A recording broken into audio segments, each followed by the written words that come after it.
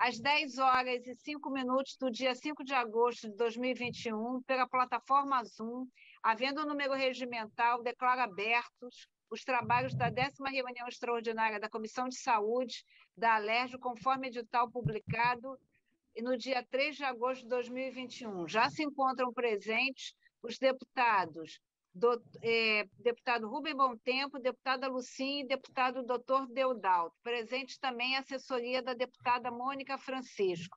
Justificada a ausência da deputada enfermeira Rejane, que se encontra em Brasília, e da deputada Tia Ju, que se encontra em reunião da UNAG, da União dos, dos Parlamentares do Brasil.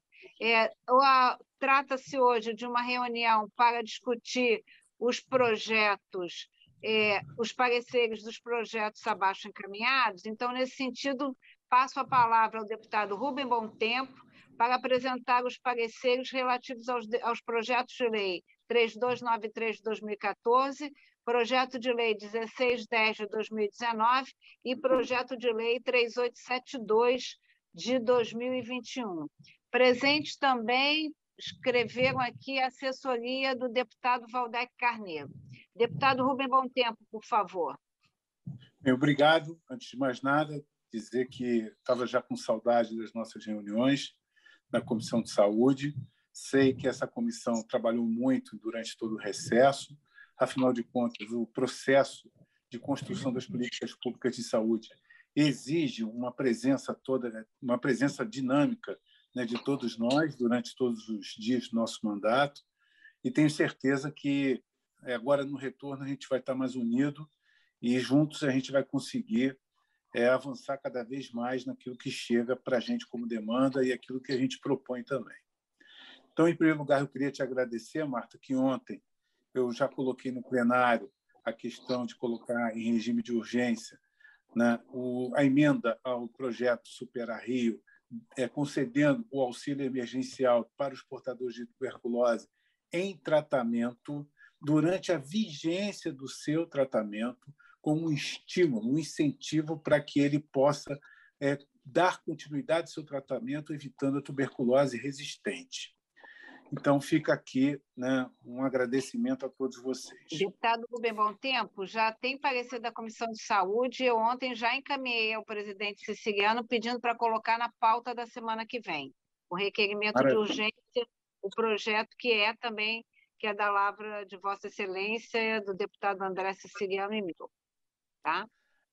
Com relação aos pareceres, o projeto é, de lei número 3293 de 2014 que altera a Lei 3875 de 2002, que regula o funcionamento das instituições asilares de caráter social do Estado do Rio de Janeiro da outras providências, que é do autor André Lazzaroni, infelizmente, eu tive que apresentar parecer contrário, porque, em que pese o louvável projeto de lei que pretende ampliar o número de atendimentos aos idosos, é importante ressaltar que tal alteração com a devida vênia, deve ser manejada alterando-se a Lei Estadual 8049 de 17 de julho de 2018, mais especificamente junto ao parágrafo único do artigo 1 da lei supramencionada.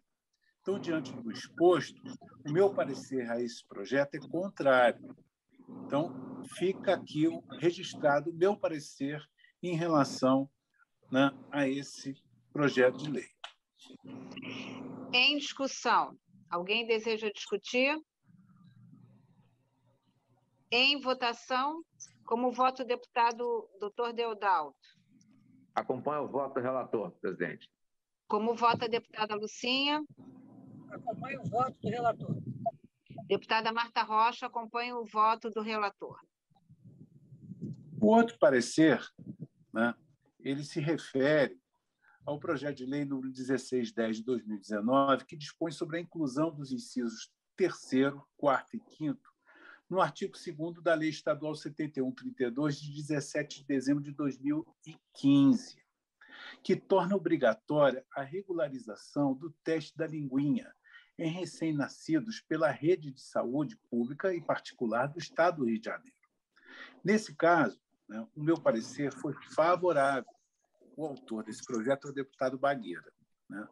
E aí vem meu parecer. O projeto de lei em questão é de suma importância e os incisos que se pretende incluir contribuem para o aprimoramento do artigo 2 da Lei Estadual 7132 de 2005, uma vez que as maternidades e demais estabelecimentos hospitalares nos quais se realizam procedimentos obstétricos ficarão obrigados a informar e orientar aos pais dos bebês sobre os riscos em caso de cirurgia, além de solicitar prévia autorização dos pais em formulário próprio para o procedimento cirúrgico propriamente dito, além de registrar na caderneta de saúde da criança a aplicação do protocolo Bristo.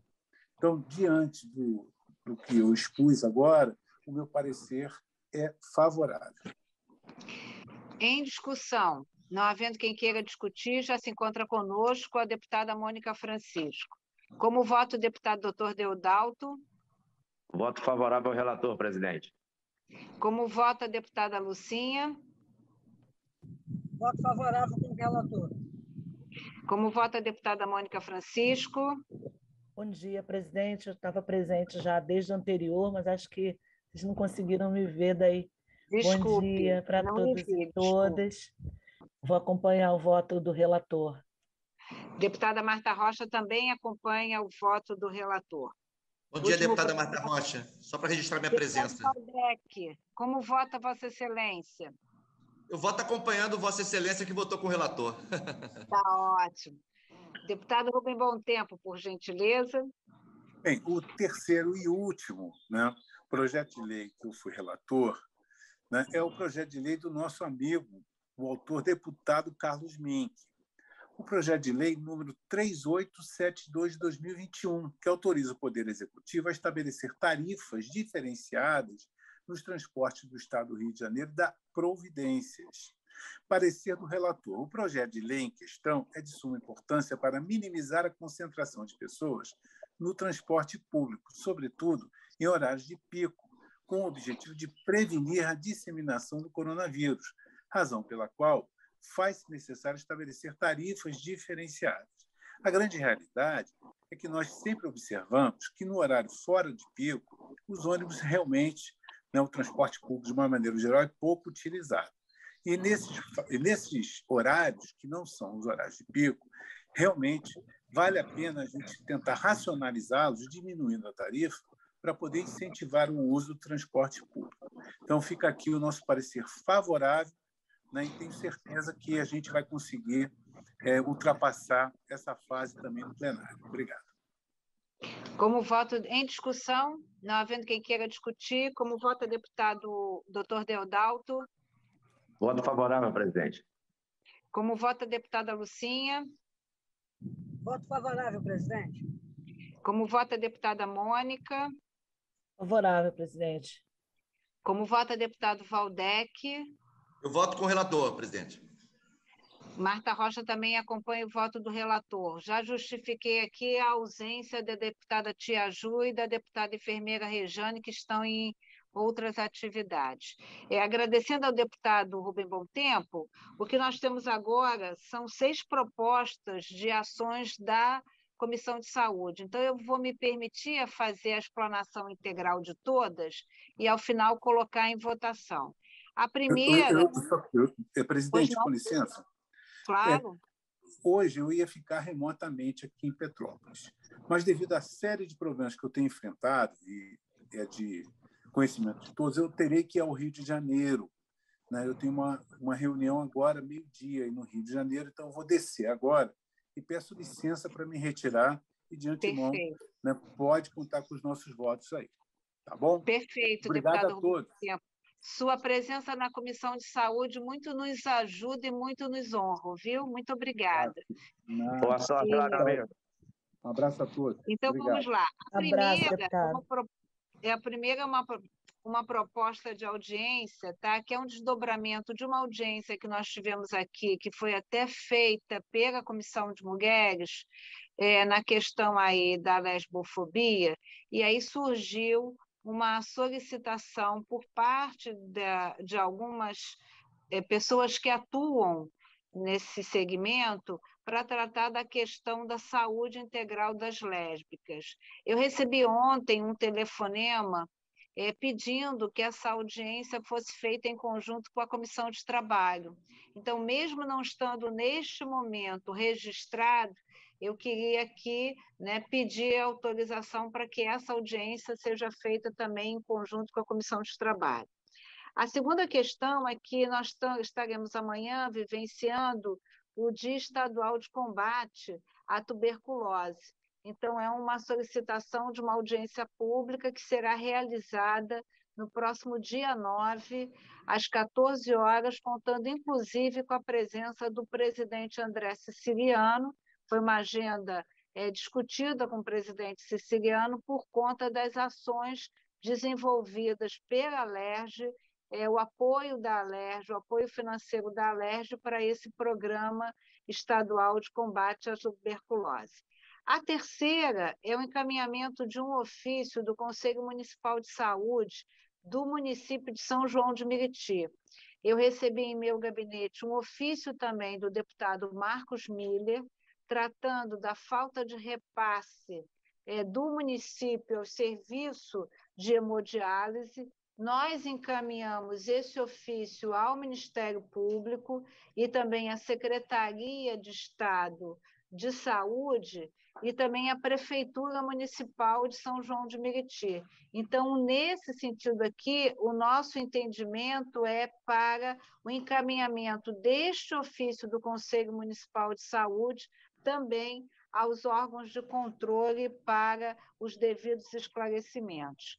A outra questão é que nós fomos procurados nessa discussão sobre a tuberculose, sobre a questão do Hospital Santa Maria, deputada, todos os deputados que integram a Comissão de Saúde, do, desde o primeiro momento, deputada Lucinha, deputada Mônica Francisco, vão se lembrar aqui de um grande debate que nós fizemos, né?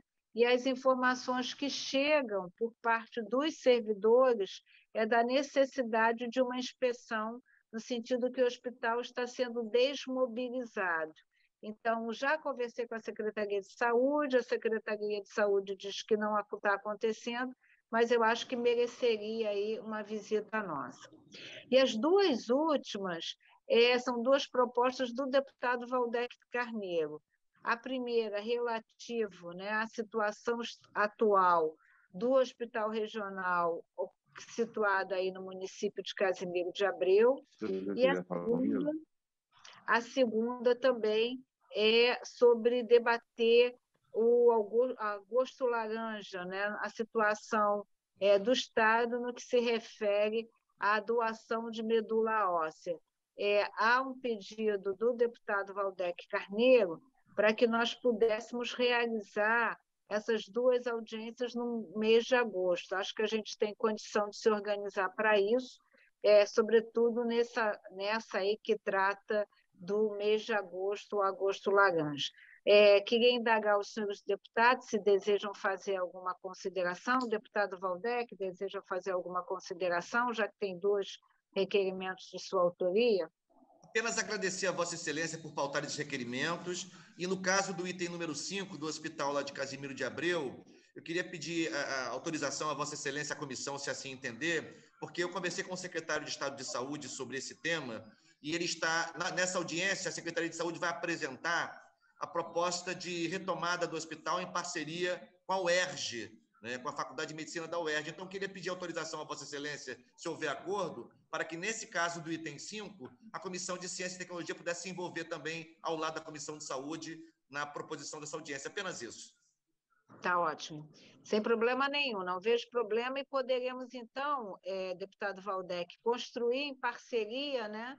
os nossos convidados para estarem presentes nessa reunião, já que vamos estar aí, é, o governo do estado pretende incluir a UERJ para poder fazer a retomada dos trabalhos desse hospital, então vamos construir em parceria aí a indicação daqueles que estarão presentes. Então, em discussão, não havendo quem queira discutir, eu queria então pedir autorização para votar em bloco Lembrando apenas que o item 3, que é o ofício do Conselho Municipal de Saúde de São João de Meriti, não se trata de uma audiência pública, e sim de direcionar esse documento aos órgãos de controle.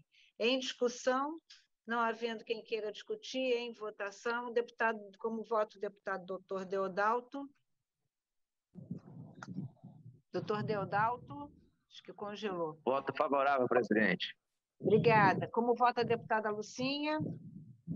Voto favorável, presidente. Como vota a deputada Mônica Francisco?